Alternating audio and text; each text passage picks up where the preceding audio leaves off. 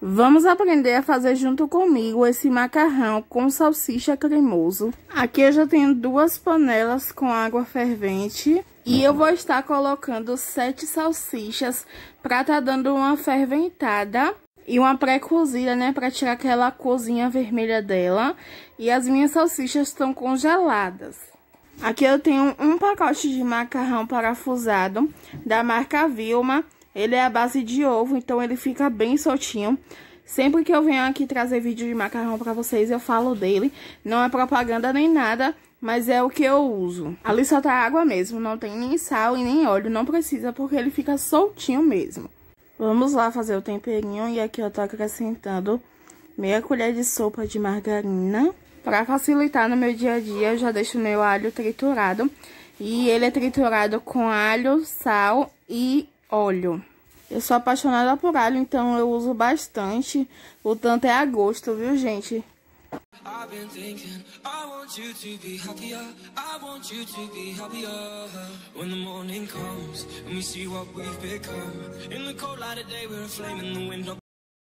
Agora eu vou acrescentar uma cebola grande picadinha Já deu uma murchada e agora estou acrescentando um tomate médio e um pimentão verde bem grande. Após a salsicha ferventar, eu retirei, lavei direitinho e piquei em rodelas. Aí eu já acrescento com os demais ingredientes e mexo muito bem e vou deixar aqui um pouquinho refogando.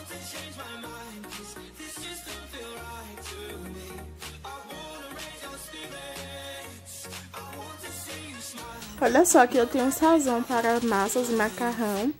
E aí eu vou estar acrescentando, vocês podem estar acrescentando também quinó ou só sal mesmo.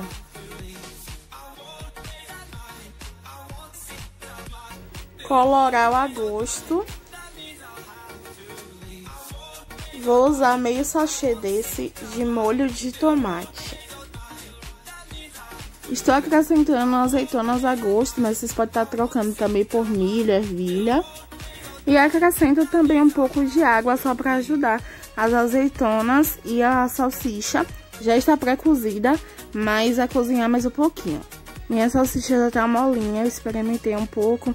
E olha só como o caldo vai engrossando. Estou acrescentando requeijão cremoso a gosto. Estou usando aqueles de bisnaga e aí eu coloco tanto a gosto, gente. Não tem segredo. Vocês podem colocar mais ou menos que isso, dá certo do mesmo jeito.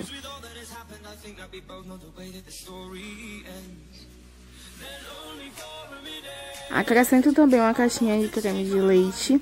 E é o creme de leite e o requeijão que vai dar o ponto. E aquela cremosidade pro nosso macarrão. E olha só que bonito que já fiz.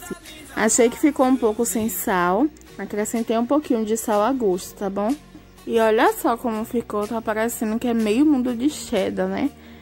Fica muito, muito bonito. Por fim, já para completar o nosso molho, acrescenta cheiro verde a gosto.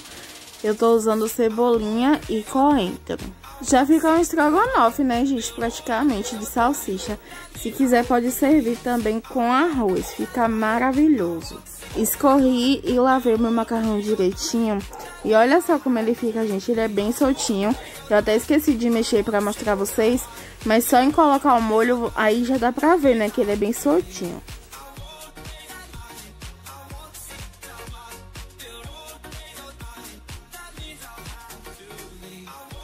E olha só que delícia que fica.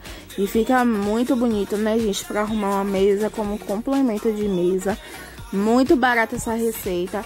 Eu espero muito que vocês tenham gostado. Não se esqueça de se inscrever no canal, de compartilhar, de deixar o seu joinha. Olha só a cremosidade desse macarrão. Gente, maravilhoso, viu? Essa foi nossa janta. Eu espero muito que vocês tenham gostado mesmo. Um beijo, fica com Deus, até a próxima e comentem muito aqui embaixo o que vocês acharam desse macarrão.